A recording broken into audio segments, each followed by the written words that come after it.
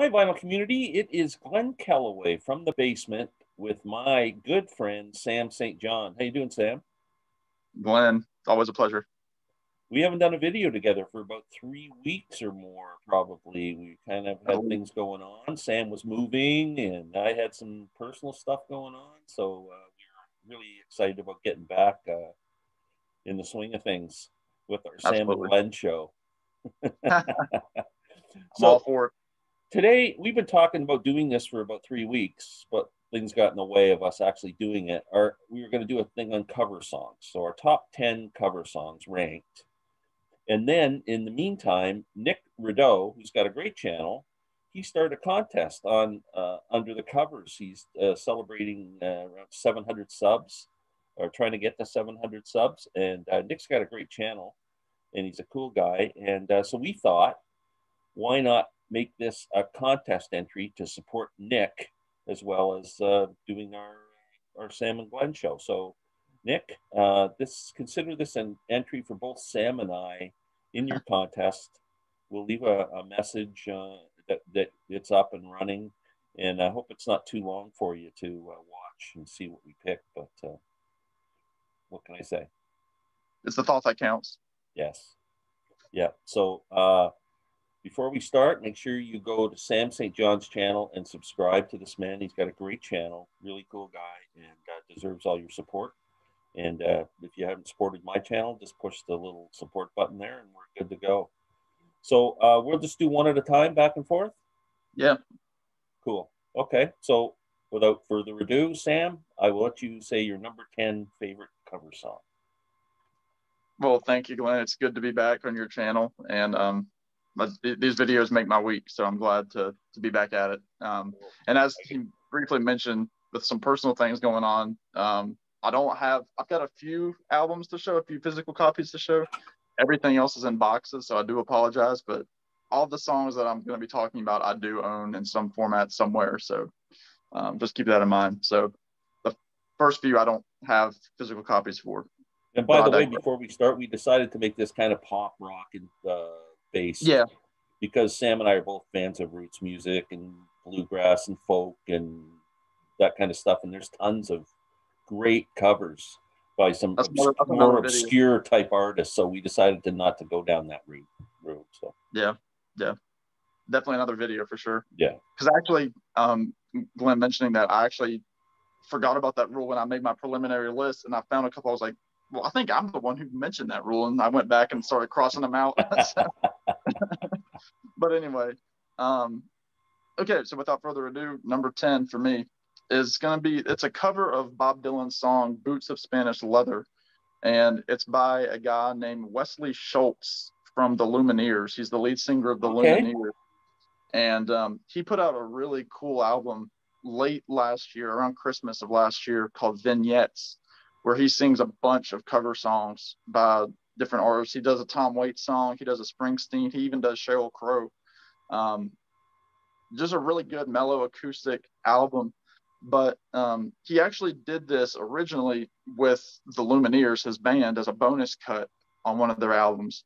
And then he did a more updated version in 2020 as a duet with a woman named Diana DeMuth, who I wasn't familiar with until the song came out. And I remember in the liner notes, because he describes every song as to why he picked it. And he said that, you know, out of all the covers that he's heard of of Spanish Leather, he'd never heard it as a duet, which is kind of how Dylan wrote it, just kind of as two lovers from across the pond, you know, mm-hmm. longing for each other essentially. Um, of course, it was originally on Dylan's The Times They Are a Changing album. And um, it's been done a million times. It actually, a lot of bluegrass groups do different versions of it from what I've what I've found over my studies in YouTube of this song. But Wesley Schultz's is just it's very poignant, and you know it, it makes you a little misty eyed. And again, if you're one of those people that don't like Dylan's singing voice, check out this version of Boots of Spanish Leather because it's it's pure poetry and it's a story. So that's my number ten. Perfect. That's great. Lumineers. I mean, amazing band. My one of both my daughters. They're one of their favorite bands. Uh, I'm going classic rock, blues rock. One of my favorite guitar players of all time, Johnny Winter. Still alive and well. He does a couple of covers on this, but he does a great cover of the Stones' "Let It Bleed." So um, that's my number ten, the Great Johnny Winter. Very cool. That's that's a great song. Both versions. I mean, I've never I've never heard his version, but I know the Stones version well, and it, it's a killer song. All right, moving on to um, number nine. Now, the reason I picked this song and put it in here because it it it does the the cover version itself is a it's a country rock song. However, it was done originally by uh, Nick Lowe in 1980 in 1985, I believe, on his Rose of England album, and the song is called "She Don't Love Nobody," and the version I'm picking is by the Desert Rose Band from 1989, which of course has Chris Hillman from the Byrds as yeah. the lead leader of that group, as well as Herb Pedersen and John Jorgensen um, to make off the trio. But I'd never heard this song until this year, and I do have the Nick Lowe copy. And if you don't know Nick Lowe, check him out. Great power pop songwriter, yeah. some country rock, but as a British singer, it's kind of, it's really cool. Um, just a killer call and response song, you know, like the, the, the singer will sing, you know, from my humble point of view, and then the background vocalist, she don't love nobody, nothing borrowed, nothing blue, she don't love nobody. Um, and it's a song. It was written by John Hiatt. Again, I know it's he's a big um, Glen's a big fan of John Hiatt. Yes. And he never officially recorded it. He did a demo version, which is really good. It's on YouTube. But Nick Lowe was the first to properly record it, and the Desert Rose Band really kicked off. And it's, it's just a killer song. It's got killer steel guitar and electric guitar, um, kind of back and forth solos. So that's my um, number nine pick by the Desert Rose Band. Awesome. Yeah, Nick Lowe's great. There's a lot of good covers of Nick Lowe's uh, albums. Oh yeah. My number nine. This is to suck up to you. Uh, this is my present to you. Tom Petty and the Heartbreakers. Something in the air. Oh, cool. Yeah, they did that kind of as a bonus track, I think, on the Greatest Hits album. Correct. And uh, I, I I love that song, the original version of it, the hit, and uh, they do it just an amazing cover of it. So something in the air. Tom Petty is my number nine. Originally by Thunderclap Newman. Thunderclap Newman. Yes. Which that their version was produced by uh, Pete Townshend. I that's believe. right. Yeah. Yeah. Very cool. Yeah. That, that's a cool because like I, I first heard that greatest hits album. That was like my first intro to Tom Petty, my first physical Tom Petty album, and you know I was like something in there. I mean that's a that's killer, but it's not really like in the canon of Tom Petty songs. It's not really a greatest hit. It's like yeah. you never hear it. Like that's become a deep cut. And mm-hmm. I'm like, why don't they ever play that song? It was on the greatest hits. To which, as I got older, I learned they recorded it for the greatest hits, which I know Tom Petty hated. But anyway. All right, um, number eight. So this this might be the biggest curveball. I went with a Christmas song, but it's by Bruce Springsteen, his version of "Merry Christmas, Baby." Wow, cool. I like so that. Other, the other day, um, I was at my band practice on Thursday, and my uncle and I, we were the only two there. My uncle plays drums for the band, and we were just kind of chewing the fat.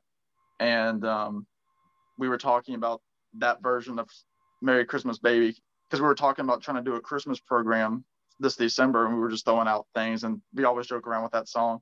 But I played it on my phone through the microphone, and I was like, I, I always forget until every Christmas goes around how rock and Springsteen's version is of that song. Mm-hmm. Um, it was written in 1947 by, um, well, it was written in 1947 and recorded by a guy named Charles Brown. And then Chuck Berry did it in the 50s. Um, there were hundreds of versions of the song. Springsteen's was in 1980. Uh, I think it was a B side yeah. for an album. It was, and it's it's a live, it's a live track, but just Clarence's saxophone on it is just killer, and Springsteen just commanding the band. You know, when he sings like he goes, "Santa came down the chimney." Wow. Yeah. I Have yeah. Max Weinberg on the drums. It's just it's a rocking song, Christmas or not. It's a killer song, mm-hmm. and I was like, I've got to put that on my list because I always forget about it. I'm just going to go ahead and talk about Christmas in October. So that's my number eight. we haven't even got to Thanksgiving yet, and Sam's got in the Christmas spirit. That's pretty good. I'm always in that spirit. Yeah. That's awesome. My wife will love that. Okay, my number eight. I just picked up this CD yesterday for $1.99 at one of those places where you drop off all your clothes and whatever Yeah. some CDs there. Linda Ronstadt's Greatest Hits Volume 2. She does so many great covers in the 70s. So I picked Poor Pitiful Me, the uh, Warren Zevon song. I just love that. I've been listening to this album, just going, man, oh man, there's so many great covers on this. She does Tumbling Dice on here too, and uh, Just One Look, Back in the USA, Blue Bayou, It's So Easy, tons of them. But I picked Poor Pitiful Me because I'm a big Warren Zevon fan. So that's my number eight. Did you ever see her live? No, wish. I had a hmm. All right, my number seven is a song to talk about Tom Petty for a minute. Um, it's a song that is this version and Tom Petty's are just incredibly overplayed, and I almost debated not even putting this in there. But I remember the first time, well, the first few times that I heard this and thinking like that's a killer cover because he made it his own, and that is John Mayer's version of um, "Free Fallin'" that he does on this Oh. live album. This double I've never live heard album. that. Um, this is a killer album. It's called Live in Los Angeles, um, Where the Light Is, is the name of the album. And he set it up where the first third of the album is acoustic, which is when he does Free Fallin'. The second is the John Mayer Blues Trio, which he does with Steve Jordan and Pino Palladino. And then um, the third is his full band. That's where he kind of does more of the hits Yeah. but it's just it's so emotional how he does it. It almost rivals Petty's if because it's just so different and just the emotion and he just builds up his voice to the end and just belts it and just his guitar playing on acoustic guitar is just second to none. Um, and I mean, I it, there's a there's a great live DVD that shows him playing it too. Um, yeah, it's it's one of my favorite covers ever. So Oh, That's that's great. my- I didn't know that existed. I, I'll have to see if I can find that on YouTube to listen to it. Oh, that's fantastic. I'm going to go with, you know, all year long I've been talking about what my album of the year is, right? Dolenz does Nesmith. hmm I found an album that ti it's tied with now. Covers album. And I'm taking my next pick off of this Oh. album. Have you heard this yet? Chrissie I haven't heard it yet. I've seen several people Sam. talk about it. This will blow you away. Like, get on Amazon right, right now. We'll put the video on pause and go order it because I'm telling you, you will freaking love this. I guarantee it. It's just acoustic guitar and piano, and Chrissie's great voice, and it's all deep cuts. There's no like you know times they are changing and blowing in the wind, and Yeah. so I I'm picking the cover tune, "Standing in the Doorway." It's just absolutely incredible. That's going to be. Uh, I could have picked this whole CD as just my top ten. I, I just can't get it out of the CD player. It's an amazing album. Chrissie Hynde, "Standing in the Doorway." Wow. Number seven, right? Correct. Now, actually, I think as we're speaking, I am going to make a quick change to my list as we speak Uh-oh. Uh-oh. because not only am I making a quick change, I'm removing this song, the song that I originally had from the list because I completely forgot about one of my favorite cover songs and I've got to put it on here. So my number six originally, so I'm just gonna go ahead and mention it. My number six originally was Tom Petty's version of "I'll Feel a Whole Lot Better" by the Byrds. okay. That now has become an honorable mention. But I'm jumping ahead now to saying that the version of Atlantic City by the band is my number six, which um, which I know all about that. um, I mentioned in our video with Rich Strickler. If y'all You don't did. know him, go check out. Um, a few videos talked about the band, and um, Springsteen did it on his album Nebraska, which is like his acoustic demo, essentially a demo sounding album that he did in his bedroom, um, and like bathroom. He just it was all done like on a tape recorder, but the band just kills a version of it with Levon Odlin, other late uh, '80s albums after Robbie Robertson you know, after their reunion and Robbie Robertson didn't come back. But that song, I mean, I hear it, and that's one of those like I can't turn it. If I hear that version by the band, if it's on like a an online playlist of like a mix that Spotify is making for me. Um, so yeah, Atlantic City is my number six. So I'm sorry, Tom Petty, but I had to kick you for that song. Wow, that's that's a great pick. That, that one totally was off my radar, but awesome. Yeah. Okay, my number six. There's two amazing covers. Well, there's a few, but there's two amazing covers on this Joe Cocker album. Mm. And no, I'm not picking with a little help from my friends, which I think a lot of people think is, you know, one of the greatest covers of all time. I'm picking "Feeling All Right," the Traffic song mm. that kicks off the album. Good pick. I just freaking love the way Joe Cocker does that song. High energy, love the way it starts, and uh, just oh man, he just does an amazing job. It's a great song. So Joe Cocker, "Feeling All Right." There's so many cover, great cover songs in this you could pick. Like he does "Just Like a Woman" on this, and "Feeling All Right," "Bye Bye Blackbird," "Don't Let Me Be Misunderstood," "I Shall Be Released." You can pick a ton of them. His "I Shall Be Released" is fantastic, and so yeah. is "Bye Bye Blackbird." I like that version too.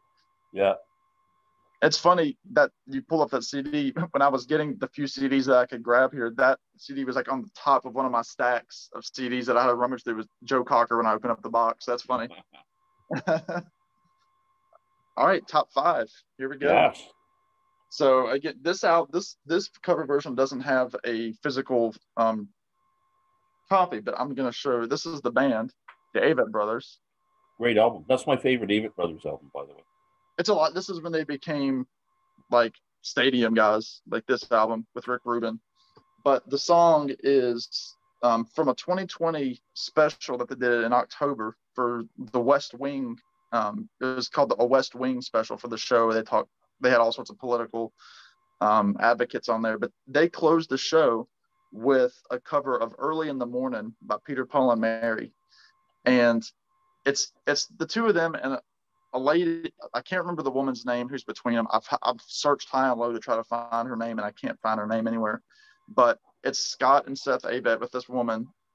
They're on acoustic guitars and they have a, a bass player off to the side um, not not their regular bass player, but it's only like a minute and 45 seconds, just like the Peter Paul and Mary song.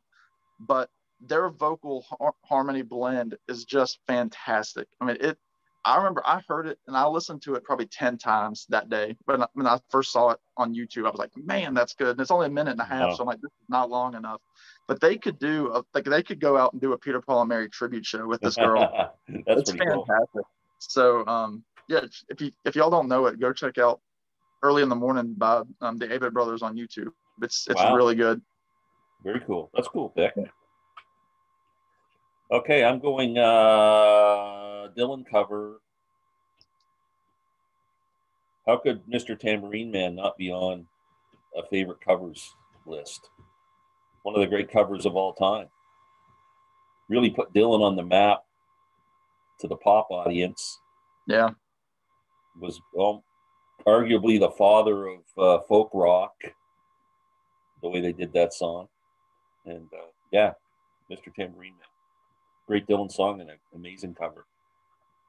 Yeah, I mean, yeah, it, it that's one of those songs too. I think that where Dylan, when he goes back to play it, he kind of uses their version as a template, which you know, um, which is cool. How they had that, even his own song had an influence on him. yeah, exactly. Yeah. So cool pick. Well, uh, to stay in line there, um, number four, I'm also going to go with the Byrds. Um, and again, I don't have this. I have the CD, but I can't find it right now. But it's their version of "You Ain't Going Nowhere" from Sweetheart. oh, Sweet Fantastic! Damn. Um, okay, I'm going to cross some stuff out here. Yeah. No, that's great pick. I but, love that song. I mean, Sweetheart of the Rodeo. That was one of those albums where it was the cross blending of genres um, a rock band doing country music. And of course, from it was it was only a two year old song at the time. Dylan wrote it as part of the basement tapes with the band and up in mm-hmm. Woodstock. And I think he his version came out on the his third greatest hits. And then there was some, of course, it's on bootleg series in varying forms. But the Byrds made it a true sing along country song. Mm-hmm. And um, again, if y'all don't know Sweetheart of the Rodeo, again pause this and just order it go order it it's the Byrds with Gram Parsons and they just do a bunch of killer country songs or like covers with some Gram Parsons originals. Mhm. And it's just it's it's one of those songs where I just I never get tired of it. I love to play it. Oh, I know Glen likes to song. play it on banjo. Yeah. Um, Um, yeah. So that's my number four. You got to throw in the Byrds for covers. Yeah. That's good. We got two Byrds in a row there. You could do a whole 10 just on Byrds covers. Yeah, you could. Okay. I'm getting current here. I'm going to be hip Okay. for an old guy. All right. Jack White and the White Stripes. Jolene. Oh, okay. Dolly Parton's great song. They do an amazing version of Jolene. Have you heard it? I don't think I, I know that they've done it, but I Oh, don't that's think I've- amazing. It's on this greatest hits album, and I think it's on one of their studio albums too. So, uh, yeah, Hmm. they do have just an incredible cover of that song. Wow. Yeah, Okay. That's neat. that's my number four. I absolutely love it. All right, the big the big three here. Uh, so I'm gonna be sticking. So all so essentially from my four, three, two, one, all have common threads with one another. So here we go. Number three, from All Things Must Pass, if not for you, George Harrison does Dylan.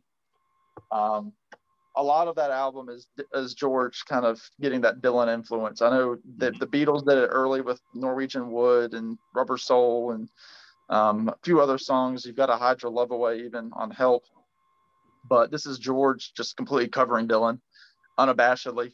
But And don't forget, George had spent the previous year or some of the previous year in Woodstock yeah, with Dylan Yeah, and the band, right?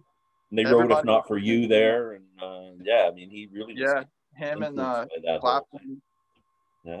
Delaney and Bonnie, they're all hanging out up there. They're getting influenced by Dylan and the band, which Yeah. is awesome that those English guys were like, man, this uh, this American Canadian music's pretty good. Like, Yeah. let's see what they're talking about here. Yeah, but I mean, D- George's. I mean, it's one of those songs where it's it's right here.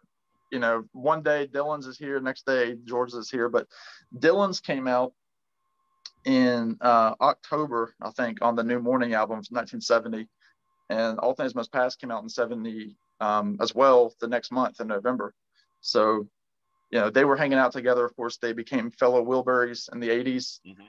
But um, just the slide guitar that George plays is beautiful and just the the number of musicians that are playing on that with Ringo and Badfinger and um, you know Jim Keltner, all those guys back and forth on those sessions. Bobby Whitlock, just it's it's such a perfect tune, and Yeah. George does it beautifully. The harmonica is beautiful. It's it's it's just a great cover. yeah, I agree. Great pick. My number four is a Beatles cover. Yes, does every little thing. Oh, okay. fantastic version of it. Jon Anderson's vocals fantastic, and in the middle of it, they kind of prog it up a little bit, but just an awesome cover of every little thing off of what album would that be on?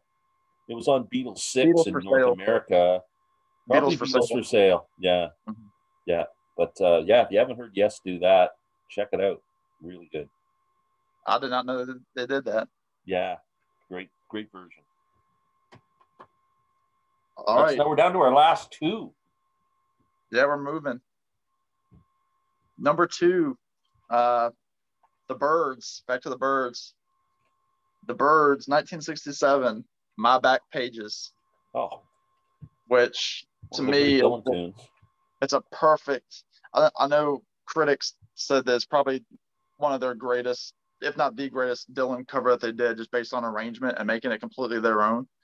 Um, Dylan did it three years prior on the Another Side of Dylan, a Bob Dylan album, which his version has several more verses and a few extra minutes. And the Byrds cut it down to an under three minute Yeah, pop rock. they made song. it a single. Yeah, Um, and I know, I think if I remember right, that this like this was about the time where Crosby and the Byrds, he was like, you know, are, are we really doing another Dylan cover? Because this was from the Younger Than Yesterday album, which pulled from that song. You know, the lines, "I was so much older than, I'm younger than that now." yeah. But so I would have I would have gone with the uh, um, performance at the Dylan um, 25th. The, the 30th anniversary, anniversary show, the Bob 30th, Fest. 30th, yeah. but I didn't because Dylan is on that track. So I was like, it's not yeah. really, he's covering, well, it is, it's that version is Dylan covering the Byrds, covering Dylan. Yeah. um, and they do, and they do all the verses on that, which I love too, because yeah. this is one of the songs. Again, it could be ten minutes, and I would love, yeah. you know, a few extra verses. But it's it's just it, I, I turn up the speaker every time when this song comes yeah, on. Great, great. It's like cover. a fade in intro too, which is cool. Yeah, that's awesome. It's three minutes and nine seconds, by the way, if you're interested. I just oh, okay. Here, take notes. Yeah, there we go. That's perfect. Wow, can't argue with that. Who would have thought in a million years when we were doing this video that we'd have two Nick Lowe covers? Oh, okay. Elvis Costello. What's so funny about peace, love, and understanding? Oh, it's such a rocker. This is my favorite Elvis Costello album, Armed Forces. The first three are just incredible. So, uh, uh, but uh, yeah, I love this album, and this is the closing track. I, I actually thought it was an Elvis Costello song. It was a while before I knew that Nick Lowe. A lot of people did. Yeah. So, but he kind of owns it as far as I'm concerned. But mm. much more angry, kind of. Uh, yeah, I don't know, protesty kind of version than it's Nick like Lowe's. A, it's a more up to date, give peace a chance. Yeah, I would say. Yeah, a little yeah. bit, a little bit angrier, like you said, more punk. Yeah. So that's cool. Now we're down to our number ones. Killer. Yeah, and um, I, yeah. Again, my number one. I there was no question. I mean, I, I, I wrote all my songs down um, as I did the way I prepare for these lists is, you know, and I'm, i think Glen does too. You just kind of spew everything out on a piece of paper and then kind of order it from there. But this one, I was like, I know that this one does not like I filled in number one quick and then went kind of backwards, filled in the middle. Um, and it may be yours too. I don't know, but like I said, these last four songs are all intertwined because all the artists are together. Yeah. And is from 2002 from one of the greatest tribute shows ever, the concert for George, "Isn't It a Pity," by, um, of course, George Harrison from the All Things Must Pass album. But yeah. this version is essentially a dual vocal Eric Clapton with Billy Preston. Billy Preston's the one who really takes it away up to another dimension, yeah. And it, it it always it's an emotional song because of course the concert for George came out a year after he passed, and his son Dhani Harrison's on stage, who looks just like George from like the um, Help era. Yeah. And you know, you have Jeff Lynne up on the stage. You have Preston. You have Eric Clapton. Um, you know, you have just this a massive amount of talent on stage for this particular song. Um, Billy Preston hits this organ solo, and he's just, you know, he's taking everybody to church on the organ, and Eric Clapton plays this crying guitar solo, and Dhani is just strumming his 12 string um, guitar. Just like his face, you can see he's holding back emotion, but it's just a it's just a perfect live performance, perfect cover. Um, it it beats George's. You know, I think it beats George's. Wow, so, that's awesome. Yeah, it's, it's a pretty emotional cover for sure. That's my number one. Wow, that's very cool. That came out of left field. I wasn't expecting that. I thought you were the way you were talking, you were going to say mine. You and me have the same one, but mine goes back to 1968 or 69. It's the greatest cover of all time. I, it just has to be number one. There's never been a better cover. Took a great song off one of my favorite Dylan albums and made it his own. It's all, all, all on the Watchtower. Oh, okay. I mean, it just genius. I mean, if you listen to all along, you listen to John Wesley Harding and hear all on the Watchtower, and then can you imagine Jimi Hendrix hearing that and then going, "Hey, I think I'll do this with it." Like I just, it just and make it my mind how he could have done that. Yeah, just genius. Yeah, and even Dylan does the song more like Jimi does it now. I mean, he, he yeah. even admits Jimi owns the song because Dylan's on the uh, John Wesley Harding almost sounds like a demo. It's kind of like he's just kind of figuring out what the harmonica is going to sound like. Like it's yeah. not his best harmonica playing. It's just yeah, it's it's kind of tinny. Yeah. But and then Hendrix said, "Yeah, I'll do it, but I'm going to do it this way." yeah, it's just crazy. I can't believe that someone had just had the imagination to do that. Yeah. Dylan, imagine Dylan hearing that for the first time. Must have blew his oh, freaking mind. I know. And let's Yeah. see, John Wesley Harding, that was 67. So Dylan Yeah. would have been 26. Well, next year, the year after that, Hendrix, yeah, that came out in '69, uh, Electric Ladyland. So So Dylan was about my age. Yeah, 26, 27 when it came out. yeah, that's pretty crazy. Wow. Yeah. So wow, that was fun. It was. I, there were some surprises, I think, on both sides. I think so. Christmas and country rock and Yeah, uh, yeah, and the White Stripes stuff. doing Jolene. Who- White Stripes doing Jolene. Yeah, some doing the Queen of Country. yeah. oh man, that's great. Well, thanks everybody for watching. Uh, Nick, if you had to sit through this to see what our covers were for your contest, we apologize. Hope you could you could fast forward through it. Just scroll, you know, yeah, whatever you need to do, buddy. But uh, um, yeah, so everybody please go to Nick Rudow's channel and check him out. And everybody go to Sam St. John's channel and check him out. And everybody hang out at my channel and check me out. Yeah. And uh, we will see you guys soon. I hope Thank so. you. Thanks, Sam. Take care, y'all.